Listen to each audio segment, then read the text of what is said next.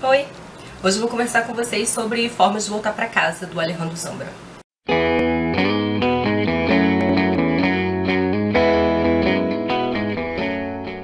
Bom, Zambra é chileno e ele publicou esse livro pela primeira vez em 2011. É, é, o terceiro livro dele que eu leio. Eu já tinha lido também o Bonsai e o A Vida Privada das Árvores. Eu li os três no celular, né? Quem me deu esses livros de presente foi a Patrícia de Carlo. Beijo, Patrícia, querida, muito obrigada. E eu li porque ele fez parte da discussão do fórum entre pontos e vírgulas. Bom, esse livro ele narra as memórias de um homem cuja infância se passou na, durante a ditadura do Pinochet. Né? Ele era criança durante a ditadura. E o livro é narrado em dois momentos. Né? Ele tem o passado, na década de 80 e 70 mais ou menos, que são as memórias, e ele tem um outro momento que é um escritor escrevendo um romance sobre essas memórias, que seria, sei lá, presente, o presente, né? E o livro é dividido em quatro partes que intercalam esses momentos. Então você tem um momento passado, um momento presente, um momento passado, depois um momento presente de novo. É, a gente percebe que existe uma espécie de simbiose entre essas histórias elas estão relacionadas. Né? Na verdade, que histórias, né? Na verdade, entre a história do personagem e a história do, do escritor.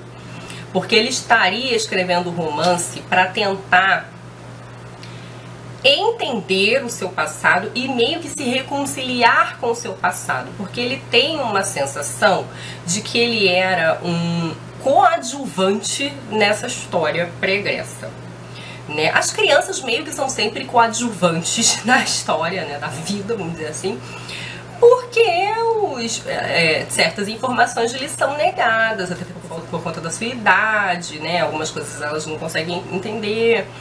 Mas isso fica um pouco mais sério para o personagem depois que ele cresce e entende o que acontecia na sua infância né? Especialmente por conta do posicionamento que os seus pais vão escolher ter nesse momento. Então ele tem um certo ressentimento por, tanto por não ter feito parte ativamente daquele passado, como pela, pela sua participação, vamos dizer assim, indireta em virtude do posicionamento dos seus pais. É interessante a percepção que ele tem né, do, do que é a ditadura e do que era o Pinochet, e eu destaquei uma passagem que eu achei muito interessante, que ele diz assim: Quanto a Pinochet, para mim, era um personagem da televisão que conduzia um programa sem horário fixo e que eu odiava por isso, pelos aborrecidos pronunciamentos em cadeia nacional que interrompiam a programação nas melhores partes. É, então você vê que a criança que não consegue entender muito bem o que está acontecendo. Num determinado momento ele também diz assim: Havia certa beleza no gesto, pois éramos então justamente isso: personagens secundários, centenas de meninos que cruzavam a cidade, mal equilibrando as bolsas de lona. Os moradores do bairro experimentavam o peso e faziam sempre a mesma piada. Parece que você leva pedras na mochila. O centro de Santiago nos recebia com bombas de gás lacrimogênio, mas não levávamos pedras e sim tijolos de Baldor ou Ville ou Flaubert. Né? Então as crianças andando pela rua meio que sem saber e sem participar, vamos dizer assim, daquela, daquele momento histórico. Uma coisa que eu acho interessante nos livros do Zambra é, é um, sen um sentimento de geração que em Formas de Voltar para Casa é muito claro, né? Ele é proposital, que é, é essa coisa, ele não, é, ele não narra só memórias ou um sentimento desse personagem, mas de uma geração. E eu me lembro que uma das coisas que eu mais gostei em Bonsai foi uma identificação de geração.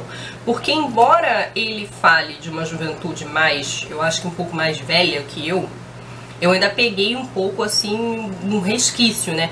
Que é uma juventude analógica, né? Uma juventude que é, que se ancora nos romances, é uma adolescência que se ancora nos romances, assim.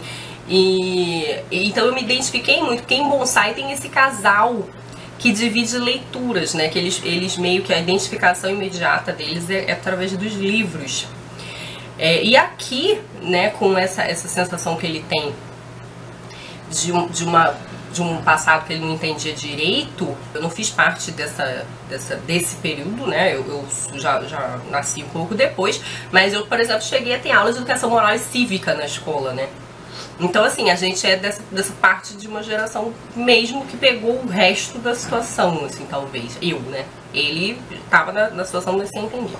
E é uma das coisas que eu acho assim mais interessantes, né? Esse sentimento de juventude dos anos 70 e 80. Eu acho que é uma das coisas mais gostosas que eu acho no texto dele.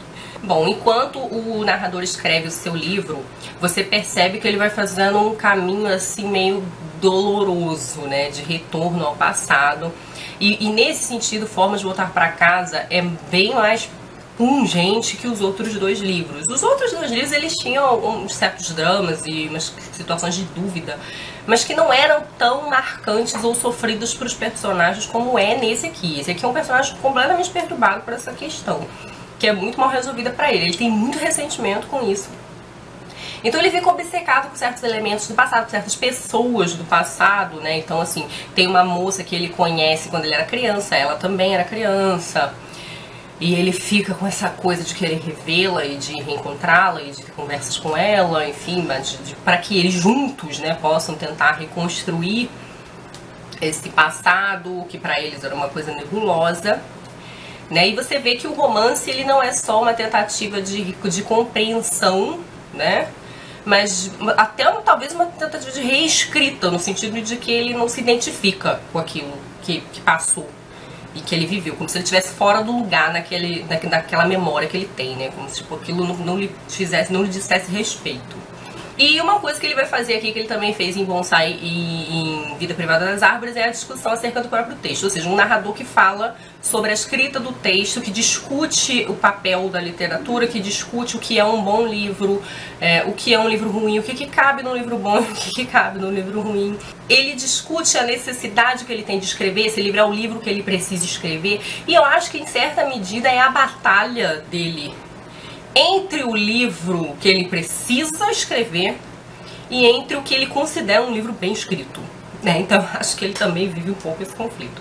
Bom, o Formas de Voltar para Casa, assim como os outros dois, é um livro bem fragmentado. É um livro muito conciso, ele é bem curtinho e ele tem é, espaços, vamos dizer assim, ele deixa uns buracos, umas lacunas para que o leitor preencha. E essa é uma, meio que uma tendência contemporânea, né? Então, assim, é um livro de leitura muito fácil, a linguagem dele é uma linguagem muito fácil, quase coloquial.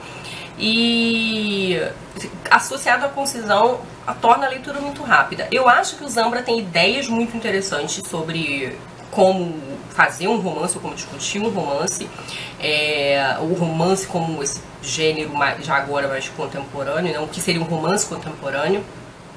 Então ele deixa essas lacunas para que o leitor preencha e, e esse trabalho autorreferente, né, do texto que discute a si mesmo. Eu só não consigo amar, me apaixonar pelos textos do Zambra, porque eu acho que eu preciso, às vezes, para mim, para amar muito um texto, eu preciso de um sentimento de imersão de mergulhar, ficar naquele texto. E como os textos dele são muito curtos, você não tem isso. Então, assim, eu consigo reconhecer que ele tem boas ideias e que elas são bem executadas, mas eu nunca consigo ter aquela conexão total com os textos dele, né? Eu acho gostosinho de ler, mas eu nunca consigo ficar, nossa, que texto maravilhoso. Mas isso talvez seja ranço de leitora de clássicos, né? Eu acho que é um pouco meu problema, assim. Mas, de modo geral, eu gostei bastante. Eu não sei, eu acho que eu dei três estrelas para ele no Scooby. Não tenho certeza, ou foi três ou foi quatro, mas por aí. É, mas é isso, eu acho que dos três livros do Zambra, esse talvez seja um pouco mais. seja o melhor, na minha opinião, porque eu acho que ele é mais angustiante. Né? Você percebe essa angústia do personagem, que não é uma angústia da qual eu, eu particularmente compartilhe, mas que eu consigo entender e achar coerente no personagem. Eu achei até curiosa, assim, né? E, então você vê que é um, é um livro que tem mais uma dor, né? Além daqueles outros recursos que o Zambra já trabalhava, ele tem mais essa questão dramática. Tá bom? Então é isso. Se você já leu e gostou, vamos conversar aí nos comentários. Boas leituras. Até o próximo vídeo. Tchau.